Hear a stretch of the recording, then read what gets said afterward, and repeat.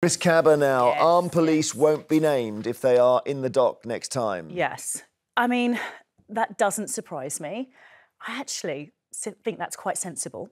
Okay. Um, and that doesn't mean, and I, I think viewers have to understand that that doesn't mean that they will never be named. It just means that in the first instance, that they are unlikely to be named.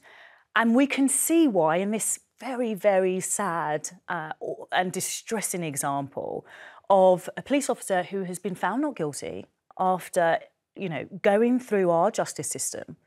Um, and his life is now at threat. It's, it's sad in the sense that Chris Kaba died, or sad in the sense that the police officer's life is at risk? Both. Yeah. Both, I don't, Jeremy. there This- I don't you know, detect a lot of sadness he about. shouldn't have been killed in that way. What do you think about that? Well, Ross? I mean, look, I haven't got a legal mind the size of a planet as Paula has. Um, I can only look as a layman.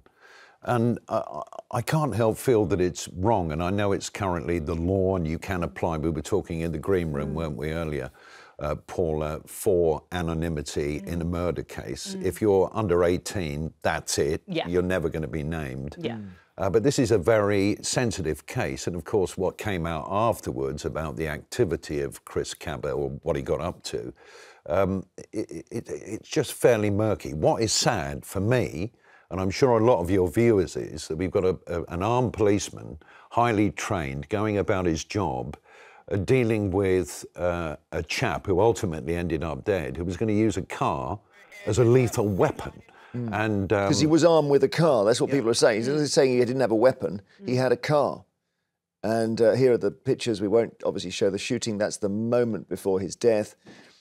I don't know. It's it's. But let's. We can actually hear Yvette Cooper, the Home Secretary, speaking about this and why she is, as a result of this case, changing the rules.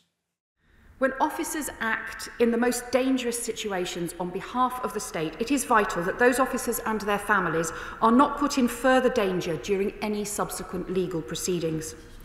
So we will therefore introduce a presumption of anonymity for firearms officers subject to criminal trial following a police shooting in the course of their professional duties up to the point of conviction. Been a really a, watershed case. This actually. Yes. I think because a because Chris Kaba was a gangster, however you feel about his his death, and b because the it's it's a 50-50 one about whether the officer was right or wrong to shoot him, because he didn't know who was driving. Didn't know who was Could have been his brother. Could have been his son. And this is what this is what concerns me about the fact that people are questioning why details of Chris Kaba's um, lifestyle choices uh, were not made public at the time.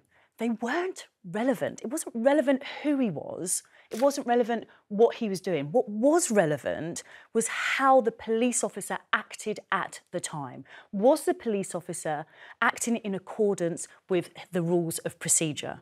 And that was whether uh, he was going to be charged or not. And it was it was after we had the public inquiry where uh, the coroner said it was unlawful killing. That is when then the CPS said, "Okay, well we're going to right. consider this now and to prosecute." Was an application made to keep the officer's name private? Yes, it was.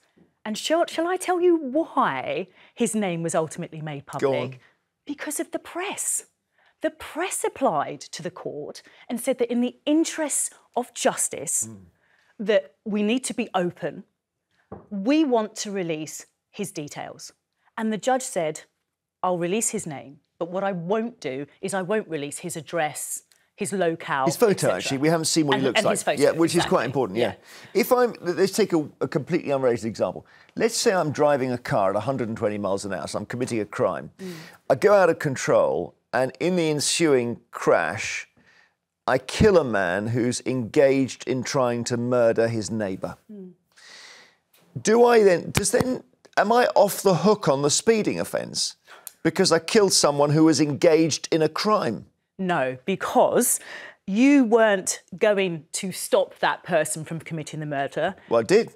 No, but that's not, it wasn't your intention. So it wasn't an act, for example, of self defence. It wasn't an act of you trying to stop a crime being committed. But it was a, it was a happy, well, happy is the wrong word. It was a positive outcome from a criminal act by me to drive my car at 120. and therefore it expunges the guilt I may have on the speeding offence. No? No. That's Uh, not how the law no, works. No, Are you, are you he's trying to seek advice here, Jeremy? No, is, this, I'm just- is there something that you want to do? If you do something bad and it has a good outcome, Yes. does that mean the bad thing is forgiven? That's what I'm asking. and this for, is- for obvious reasons. And this is why I have had a job for 25 years. It depends. If you are doing something bad in order for somebody who is doing something far worse to stop them from doing that something far worse, then yes, you could use that as a mitigating okay, circumstance. but not as an accidental But- thing. but yes. Okay, all right, thank you.